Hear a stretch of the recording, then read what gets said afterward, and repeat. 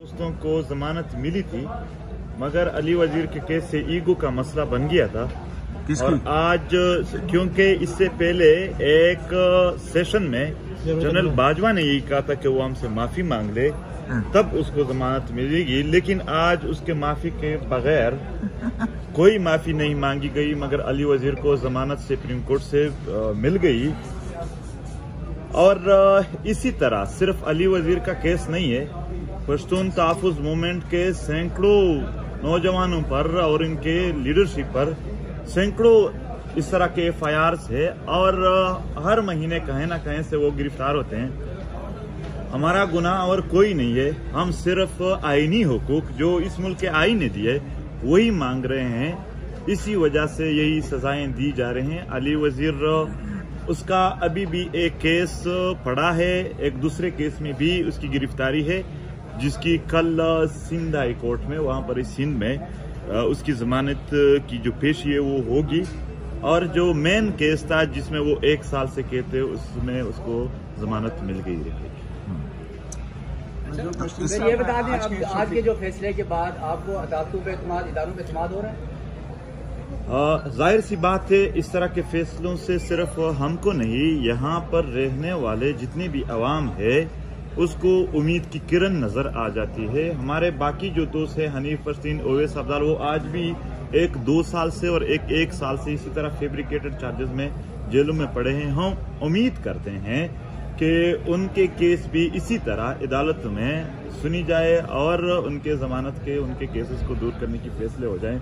यही वो फैसले होते हैं जो पेरिफ्रीज में सिक्योरिटी के नाम पर वारंटियर के नाम पर, वहाँ पर पिसे हुए लोग और उन जंग से तबाह और बर्बाद इलाकों के अवाम में थोड़ी उम्मीदें पैदा कर रहे मंजूर साहब जो आपके एम एन ए ने जो तकरीर की थी उस तकरीर का पस मंजर क्या था?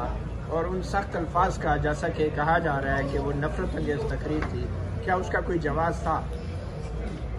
जब अली वज़ीर के खानदान के सतारा अफराद उसके वालिद उसके सारे भाई उसके चचाजाद भाई शहीद हो गए उनको किसी ने नफरत अंगेज नहीं कहा।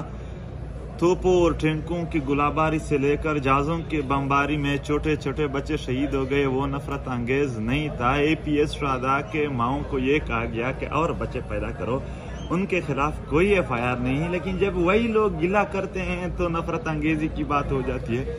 गिले और शिकवे को नफरत अंगेजी कहा जा रहा है और ओरिजिनल नफरत को कुछ ही नहीं कहा जा रहा है, मोहब्बत कहा जा रहा है। इसी मुल्क में जिन लोगों ने तोड़ फोड़ की, उनके साथ महादे हुए हम कहते हो यहाँ पर अमन के लिए जिसके साथ महादे करना सही है, उनको अपने कहा नोट बांटे गए, मगर पुरअमन तहरीक पर पुरअमन लोगों पर चार्जेस दफात, और वो भी गद्दारी के। जो लोग आइन मांग रहे हैं, उन पर गद्दारी के मुकदमा थे। जो आइन तोड़ रहे हैं, वो महब वतन है यही यहाँ का कानून है। तो ज़ाहिर सी बात है जब आप किसी के खानदान के सतारा अफराद शहीद कर दो और फिर उसके बाद गिले और शिकवे का मौका भी न दे गिले शिकवे ज़रूर होंगे वही बात दोहराऊँगा जब तक हमारे साथ जुल्म ज्यादती हो तब तक हमारे लहजे तल्ख होंगे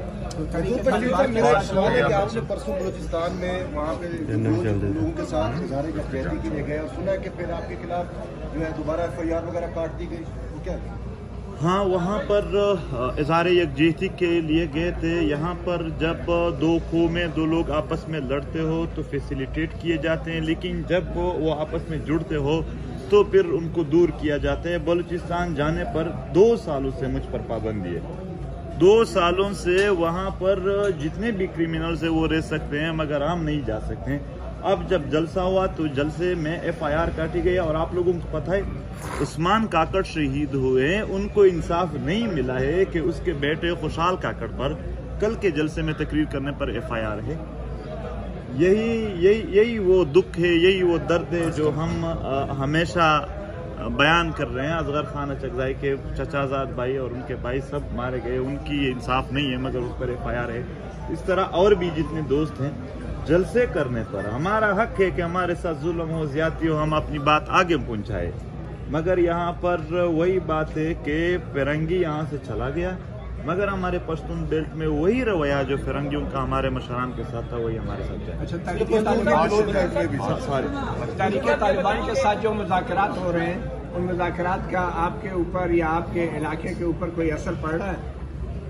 पहले तो हमें समझ नहीं आ रहे कि वाकई मुजाकरात हो रहे हैं, इससे पहले फिर क्या था? इससे पहले भी अगर मैं वही बात को शायद आप लोग नशर नहीं कर सकते, लेकिन खुद सर्च करो और जाके देखो यहाँ के रिटायर्ड कर्नल इमाम से लेकर जनरल अमित गुल के बयान तो उन्होंने खुद माना इन इन दोस्तों को। तो अगर मुजाकरात हो भी रहे हैं, तब भी हम यही कहेंगे कि अगर मुजाकरात के नाम पर या अमन के नाम पर दोबारा यहाँ पर दहशत गर्दी पहले फिर उसके खिलाफ जंग के नाम पर पश्तूनों को और जंग में धकेला गया या धकेला जा रहा है तो हम ऐसे अमाल की मुखालफत करेंगे। हम मुजाकरात या अमन, हम अमन के ख्वाहिशमंद है। अगर अमन के नाम पे या मुजाकरात के नाम पर वहाँ दोबारा मिलिटराइजेशन हो रही है इनसिक्योरिटी पैदा की जा रही है और फिर सिक्योरिटी के नाम पर दोबारा वही आलात बनाए जा रहे हैं तो हम इसकी फिर मुजाहमत करेंगे, मुखालफत करेंगे और वहाँ के आवाम की नुमाइंदगी और उनकी अमन के लिए बात करेंगे। बहुत बहुत शुक्रिया